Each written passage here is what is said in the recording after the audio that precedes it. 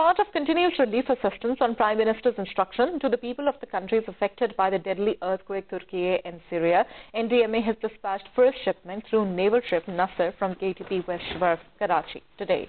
Faisal Sabzwari, Federal Minister for Maritime Affairs of Pakistan, Turkish Consul General Jamal Sangu and Commander Pakistan Fleet Rear Admiral Faisal Abbasi graced the departure ceremony of the ship.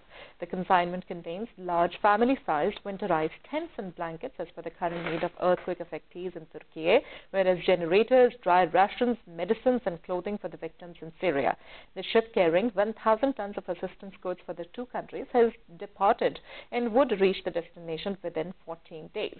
Federal Minister Mr. Faisal Sabzwari expressed his sincere condolences for the loss of precious lives due to huge earthquake in both the countries and assured of every possible help from government and the people of Pakistan.